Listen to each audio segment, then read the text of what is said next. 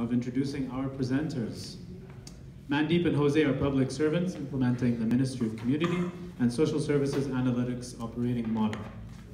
The strategy will support larger transformation efforts in Ontario's social services sector. Okay. Guys, welcome. Thanks so much. Can I just? Yeah.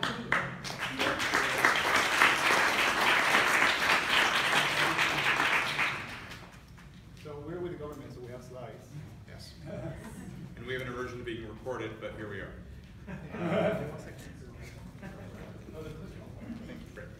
So, uh, hi, and thank you very much for having us here. It is, it is really quite special for, uh, for us to be able to step outside of our own bubble and to be able to uh, ask, present some of the stuff we're doing and get feedback and get a reaction. So can we just ask you guys to get a microphone so it's accessible? Sure. Thank you.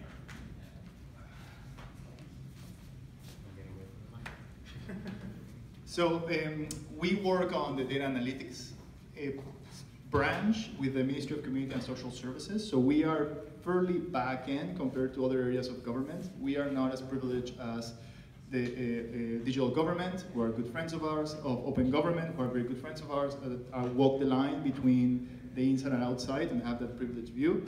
Uh, in fact, it's in part because of the work that they've been doing that we can be here and that they're pushing for a culture of openness.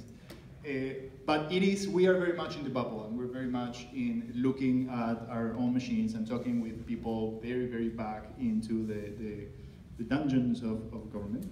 So uh, this is really, really a treat for us and it's very special. So uh, thank you.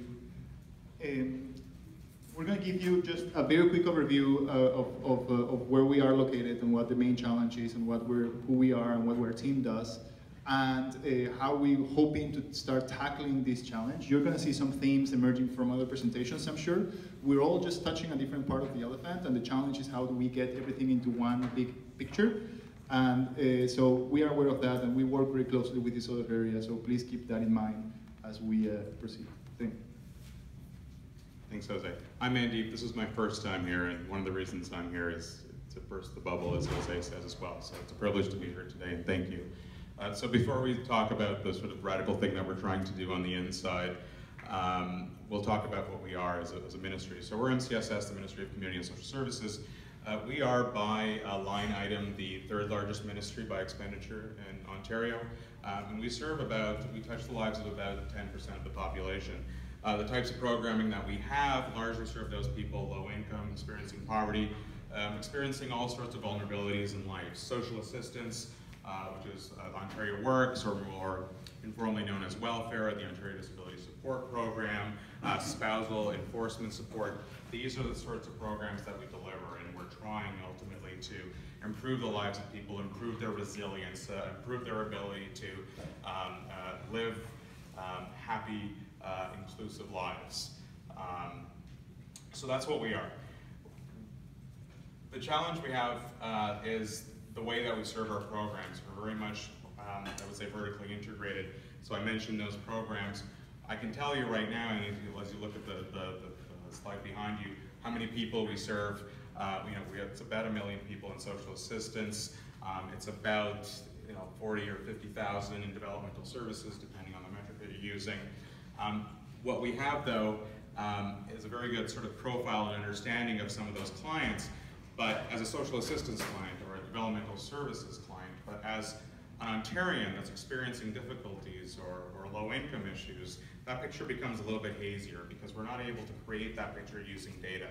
Um, and effectively, the, the, assertion that we're working with uh, within our branch, which is the Policy Research and Analysis branch, and you'll hear us say PRAB a lot because we're government and we love acronyms. Sorry, but we are PRAB. Uh, is that um, the government's been uh, you know, trying very hard to, to, and talking a good game about evidence-based policy. The assertion we'll make is that we're not actually using evidence to the best of its capacity, the ability to make the decisions we need to make uh, that will actually improve the lives of Ontarians. And so that's uh, one basic way, that's one basic assertion. The second one is uh, we refuse to believe that the way that we're doing things now currently as a sort of corporate support services for data and analytics as an organization um, is really the best way of doing it. And we have a, lot to improve. And so that's what's driving us uh, to make these changes. We're, you know, data is an enabler for us to really improve the lives of Ontarians. That's the mandate of our ministry. And so fundamentally at our core, at our heart, that's what we're interested in. Um, so you'll see here, we have a siloed view of our, our profiles. The problem becomes a little bit more clear when you look at who our clients are as people, not as clients.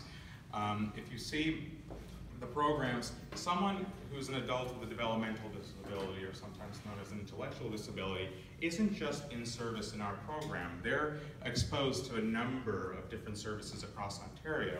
They're, they may be getting educational supports, they may be getting housing supports through the Ministry of Housing, they may be getting training and employment opportunities through advanced education and skills development.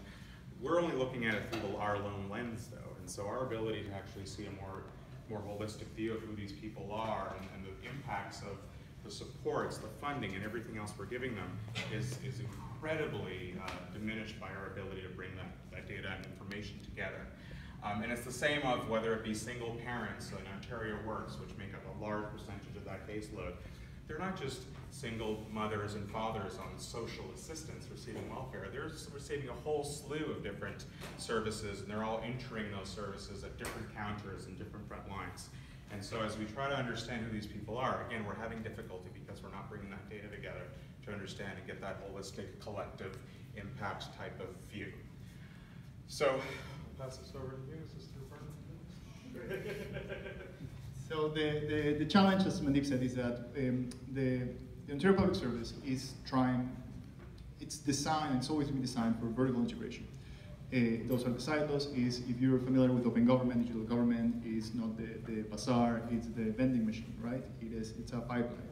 And uh, over time, our, our uh, protocols or legislation, etc., they're in place to protect those silos and to prevent spillage from those silos personal information, of, of decision making, of accountability. The, the challenge is that with technology now, uh, that spillage is actually called horizontal integration, right? And it's the big, the big challenge that we have right now. Uh, what the government, we are trying to do digital open government, uh, MAESD, a number of different areas within government are trying to do is to start building that those pipelines, those horizontal integration, that platform that would allow us to have a more holistic view of who we serve. So this is what who we are. You saw in the first slide the organizational chart with the divisions, which were the verticals. Half of them were a, a, program delivery, the other half were corporate, and each little box was a branch. So we are a branch, which we're one of those little boxes. And our main function is to provide uh, support services and direct services uh, around data. So we handle a lot of data. We get basically daily copies in some cases, in some cases monthly copies of raw copies of the transactional systems that manage uh, everything. Uh, it's very little data compared to OLG or other organizations that manage a lot more microtransactions, but it is very comprehensive in sense of, of, of what we get.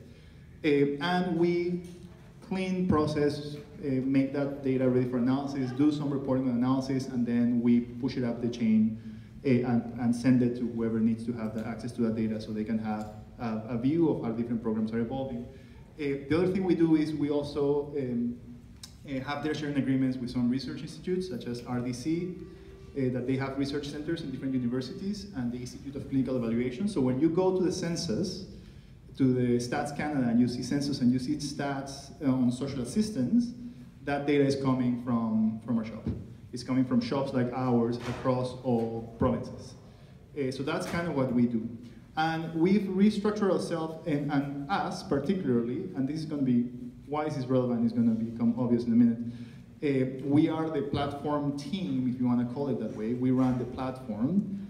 Uh, and then we have three teams that are the content teams, and they are the advanced analytics team. They have the econometricians, the statisticians, the subject matter experts are there. Uh, we are a very rare shop in the OPS, in the public service, because we are a policy shop. We're not an IT shop. However, we have developers with us. So we have developers, subject matter experts, uh, and, uh, and, and, and policy people in the same shop, and we have some certain access to some infrastructure and technology that most areas don't have. So why is this relevant? Because what we're trying to do for the Ministry of Social Services is we started beginning uh, building a platform. Uh, we are the platform team within our branch, and our goal is to turn our entire branch into a platform for the for the ministry and to turn it into an open platform. You have to uh, our platform has three main elements. The first one is uh, governance, and I'm just going to fly through this. Uh, we do a lot of project management and prioritization, so we do the triage. And we've, over the past year, we've been working very hard setting up a process so we can start making more informed decisions and we can start having a, a, a, a comprehensive picture of what the needs of the sector and our ministry are specifically. So usually in, that's the first crack at the silo, if you want to look at that, have a single picture of what are the priority projects that we need to uh, invest and work on from an analytics point of view. So we're not reinventing uh, the wheel every time or touching the same transactional system or administrative system 25 different times to do 25 different changes. So we have one single pipeline for everyone and a governance process within the ministry. Next slide, please. Uh, the second platform is tech, and uh, um, we're inside government, so we're very constrained on our, what we can do with tech. Nothing here is going to be mind-blowing. Uh, but it does give you an idea of uh, what we do and how we operate. Each one of the ones at the bottom is a transactional system, so these are each program has a transactional system that is used for the administration of the program. We get a copy into a staging server, we model it, and then we push it up in one of uh, many ways. Uh, raw data, if someone needs raw data, someone with appropriate access, that's raw data. dashboards or reports, and eventually via a data feed um, uh, when they have the appropriate permission within the community. Now, we're still building this model. Um, we're up, we've been upgrading for the past two years our technology to be able to support all of this, and we are moving quite aggressively on this front. And uh, these dashboards and reports that we're also moving there. So a lot of the, the, the, model that we, the models that we build with the data end up becoming dashboards or reports. Uh, we cannot give you a demo or show you our dashboards because they're locked on the network. Uh, as you can imagine, there are a lot of uh, uh, personal information high sensitivity data on our warehouse. so, but if you click here, things happen. it's, it's shiny. But it's kind of the idea of um, the operational report, who are your people, who are your clients, who, what type of services you provide, the uptake, uh, how long it takes to do, uh, to get from step, uh, step trends, we do all that kind of stuff. And the plan is to have one report per program immediately because we do have an accountability and a responsibility in that sense. That's our main goal. And the second one is to start modeling across programs and start building integrated reports so we can start answering questions that we could not answer before uh, and that we still having a hard time answering, such as uh, how are people clustering programs and how programs are being clustered across uh, geography, gender, etc., or how people move from one to the other to the other in different types of life that's something that we uh, are uh, still cannot do even with systems within our own uh, ministry. Our goal is to build an open platform that can do that first for our ministry, but then start engaging in a, in a more better conversation with the sector. On the platform, Tim and Jose just said open. I mean, this is the change in philosophy here. I mean, as a data shop, and I think this has been historically true in, in, in private sector and various bureaucratic organizations, uh, the assumption is, well, we're the ones that understand the data, you can't have it, it's ours, you'll get it when you go, you go through the queue. Every element of the way we're designing, whether it be governance and the way the data and the way the infrastructure is set up, is for open platform. We no longer believe in the idea that this is just our data. Where we'll be emphasizing our efforts is to build efficiency and effectiveness in the organization, so we're not duplicating tasks and the rest of it, and to build trust uh, in the data so that we can be the authoritative source and there's single sources of truth.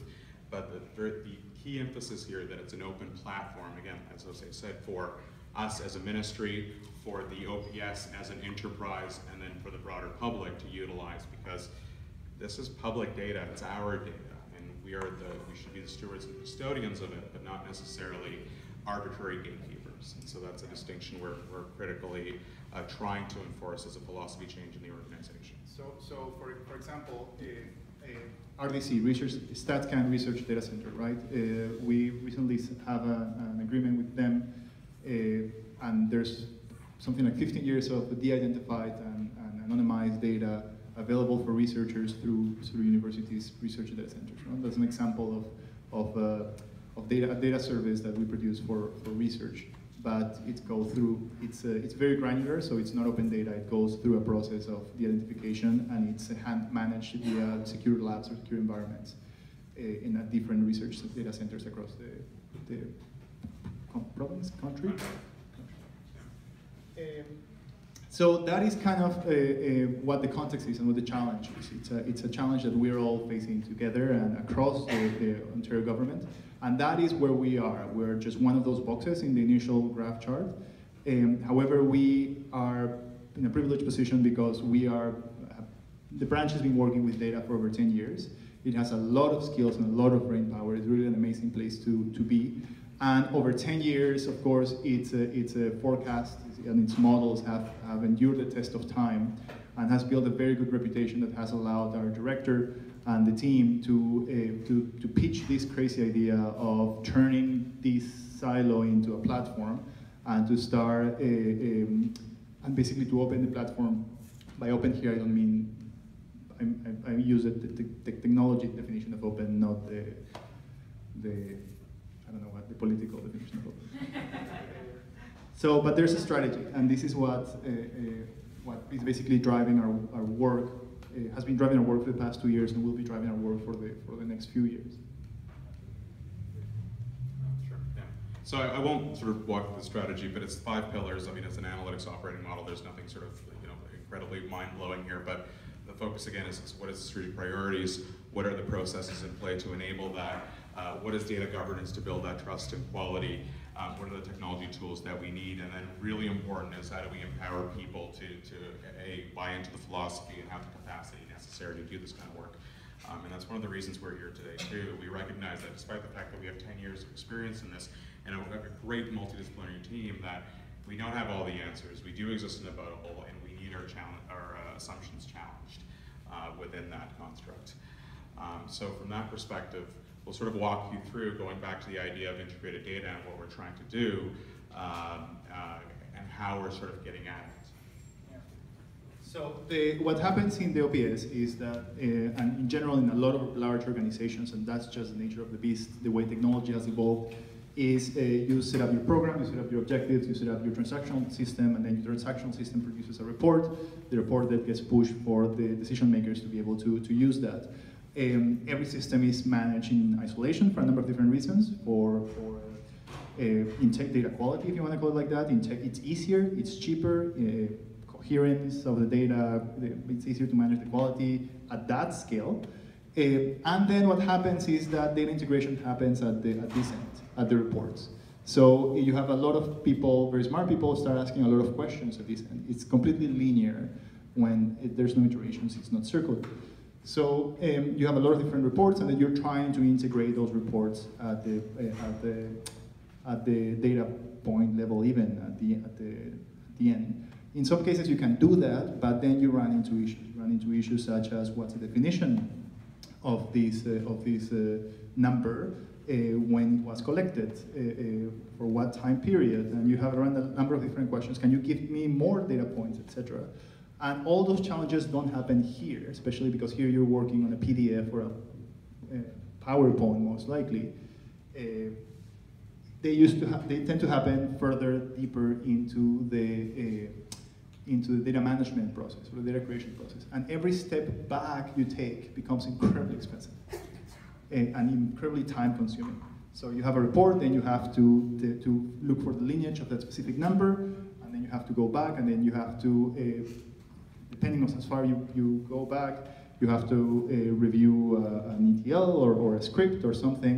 And of course, out of the 50 people you have, you only have a few um, very technical skills are very, very limited. So what we're trying to do first and foremost is to uh, push integration to the backend and make it by default. And the way we're doing that is uh, via the analytics model, the platform that we mentioned, via uh, prioritizing projects and centralizing projects to make sure we're on the same page to a central data warehouse, which is something that can happen. Uh, so we have a two layer of modeling. We have the data modeling for the reporting of the program and then an integrated data modeling, a data model that reports on the sector at sector level, not at program level. And then uh, when we trace back the lineage of a specific data point, we can go to a, a model, a cube, or, or any form that we can query really quickly and then get that view or get more dimensions uh, just uh, simpler. That is kind of the, the, goal. Right now, that only happens here, and it's changing that is incredibly time consuming and incredibly expensive.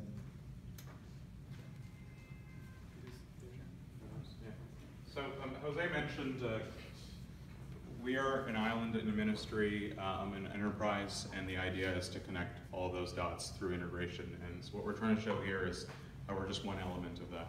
Um, Jose mentioned StatScanner, our work with the RDCs and putting, uh, it's 11 years, it's going to be more uh, social assistance data so that it can be linked with federal microdata uh, so that you can start looking at all sorts of interesting things, not just at a federal but at a provincial level.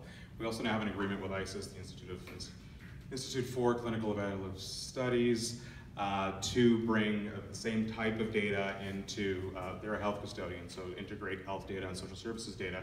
Um, and with actually, we'll get access to the data for the first time. It's a bit, bit of a new thing that we're trying to do in the government.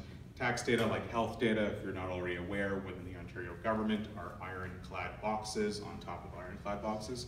Uh, so we're a bit excited about that. But the idea is to create those linkages across different ministries.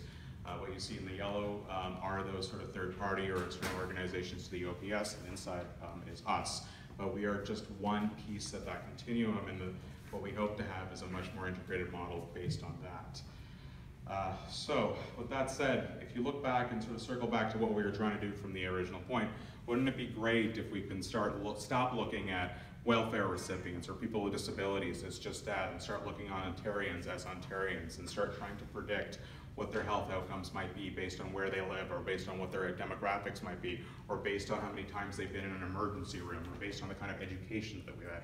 We already know that social assistance is an intergenerational dependency, that about one third of people that are on social assistance, their children go on to be on social assistance. So intuitively, we can figure out why, right? We know that poverty is a barrier in itself. We know that there are, there are health implications here. We know that there are social determinant of health, health issues here, but we don't have the evidence for that right? And within the absence of evidence, what we have is intuition. And so what we're trying to do is create that holistic picture so that we stop looking at Ontarians as clients or as ministry recipients of programming, and just as Ontarians and as people, and try to predict better uh, what it is that they need in life and how to improve those outcomes holistically. So there's a, so there are a lot of there are other initiatives that are we're following, uh, uh, and we're very happy about uh, going around in the government. Again, Open Government, Digital Service Ontario, these are a lot of initiatives pushing towards um, integrated service delivery and uh, how do we start redesigning our services based on the user. Uh, and they are huge, and this is going to be a huge challenge, and we're happy that there's some, there's there's this team behind those initiatives right now, and very very talented people in the OPS working on those. Uh, our position is that um, we won't be able to have integrated service delivery without an integrated backend and without integrated planning and policy. And what we're doing is just getting ready because our goal is that when they are ready to start doing that, we'll be ready to start doing this as well, and we'll be able to work uh, together when the time comes. And from a purely administrative point of view, uh, we do cost benefit analysis and we do business cases and all that kind of stuff. However, it is uh, very, very difficult, if not impossible, for most of us in a cost in a, in a timely and, and uh, manner uh, to calculate as as, as Mandeep was saying, the, the impact that a mental health initiative could have, not only on the mental sector, but on educational outcomes, or on social assistance, or an, an training program uh, provided by MAESD, for example, how would that impact the, the cost of delivery on, on the outcomes, most importantly, in, uh, in mental health at the same time, on over time in, uh, in the Ministry of Children and Youth. You know? So that is the big picture that we're trying, trying slowly, slowly to build on uh, uh, within our sector. So over time, when we are all, everyone that's touching a different part of the elephant, we learn to speak to each other, which uh, we're moving in that direction, hopefully. Uh, we are we are ready to, to describe our tail or leg or whatever piece we're touching in a, in a, in a holistic and, and comprehensive way. And that is kind of what we're working on right now. Uh, we are, again, um, there are two reasons why we're here. Mainly, one is because it's a great opportunity to get feedback and to get reaction. Uh, also, we're in a bubble. A bubble, ideally, can be popped at any time. So this is very helpful there. And also to ask uh, for help from wherever you're working, uh, whether you're working inside government or outside of government, uh, to, to just ask for help. And also, if you're interested in the work we're doing, we're always happy to chat, to chat and we are uh, always uh, looking for, for feedback. And that's it. Thank you.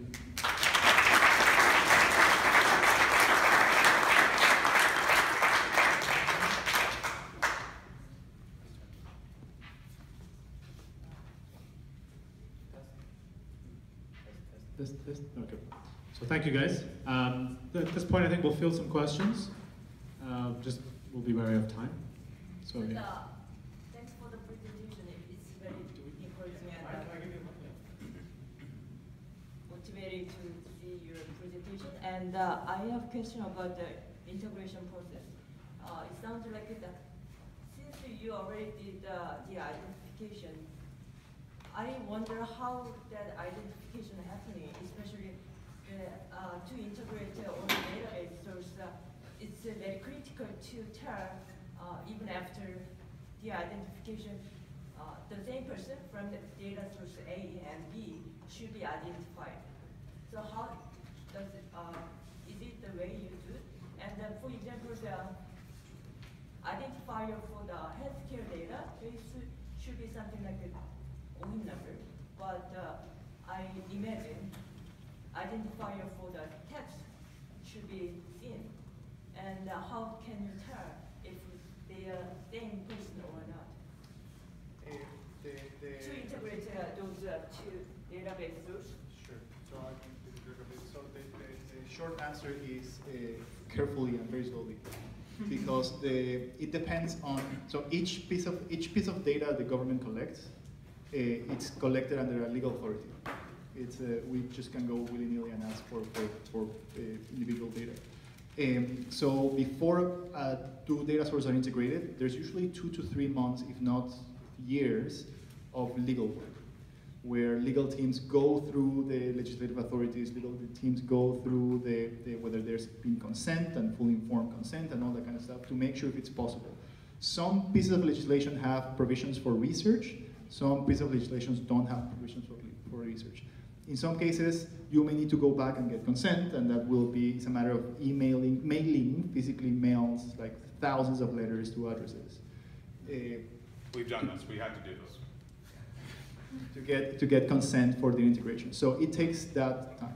Then there are other larger external pieces of information. So for example, we may have two databases and both have SIN number, but the SIN number is is uh, is uh, protected by federal legislation and cannot be used for anything. So we cannot use SIN numbers to integrate, even though both systems have SIN numbers. Uh, to long story short, in a lot of cases, we end up using doing just probabilistic matching uh, with a number of other uh, personal identifiers or pseudo identifiers, such as uh, address, date of birth, that kind of stuff, before it gets de-identified, the data. Um, the ideal is to have, uh, a, a, from a technical point of view, I'm not addressing the privacy uh, part of the question, but from a technical point of view, the idea would be have to be uh, a single identifier. Um, however, we have right now several, um, and, and it's, we don't have one universal uh, identifier. Is it very satisfied, or do you think that there should be more way to uh, improve that uh, identifier? There are definitely ways to improve it. I mean, a, a unique identifier that would be used across, like from a digital identity perspective, would make this incredibly, s- substantially easier. Absolutely. Uh, but I would just say it's we're not alone in this problem. I mean, even the federal government and StatsCan has a spine that they link to, and not in all instances of federal information that's collected includes SIN, for example. And so as they said, um, in the same way that SIN can only be used for federal purposes, OHIP can only be used for the administration of health and not and outside of that. So institutions like, like ICES, as I mentioned, is running into the same issue too. And so, you know, there's been a lot of advancement just from the technology side on probabilistic matching. So um, it's a it's, it's a pursuit that other ministries are going with as well, and just trying to link across, you know, educational systems, for example, post-secondary and, and, and, and ele- what comes before post-secondary. Um, Child. Yeah, that one. So it's been so long. Uh, so we're working through it together, and there is actually a lot of expertise and, and, and help there. So uh, it's, I don't think it's an insurmountable issue for us, at least not from a technology perspective legislatively. We're working on it. I think you had your hand up. And then I guess three and four.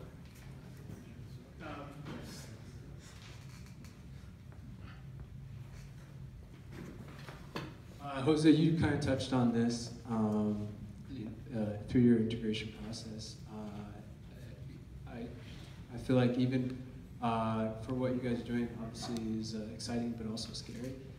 Um, uh, if if you are sort of successful in this process um, and you are able to sort of uh, break this silo, uh, what gives you confidence that the policy side of things um, uh, will kind of understand what you guys are doing? Because anything with policy, uh, that whole restructuring has to kind of kind of change. So uh, you know, I know you guys are part of a kind of a waiting game, and you want people to sort of uh, play with you. But uh, uh, do you do you feel that that's going to be be a big hurdle compared to uh, the whole data side of things?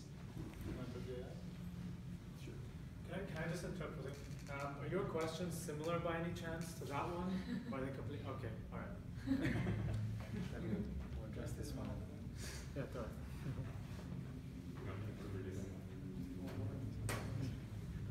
Just depending on time, I may cut it short and ask you guys to ask them individually, because they'll be sticking around and have their own breakout groups. Thanks. So I'll, I'll try to keep it short uh, and to the point. Uh, uh, yes, however, we are a policy shop, right? So that, that answers part of your question. And like us, a policy shop, there are other policy shops. Some of you guys are here. Uh, are uh, so policy shops in the open government, in the open government, in the OPS have uh, over the last five years has seriously ramped up their skill set in terms of, of data analysis, and they're demanding data. So, so there's a push and pull here. We're, we're waiting, but we're not going to be waiting. It's not like waiting for Godot. There's, we know there's a demand out there that we want to serve the demand. Uh, so that's one thing.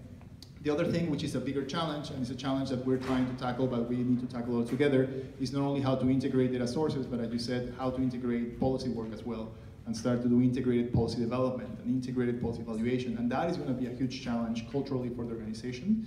Uh, however, there's a lot of people thinking about it inside and outside. A lot of them uh, uh, much, much smarter than, than me. Uh, so, uh, so we're we're all pushing in the same direction, which, which in itself is very very uh, refreshing and very uh, gives me a lot of. uh, I'm optimistic. Okay. I'm, I'm, I'm gonna have to apologize and ask you guys to ask later individually, because I think the best part is here, the pizza. So if you guys want to grab pizza at this point, um, please help yourself, and then we'll do the announcements section. Okay? Round of applause, yeah, please.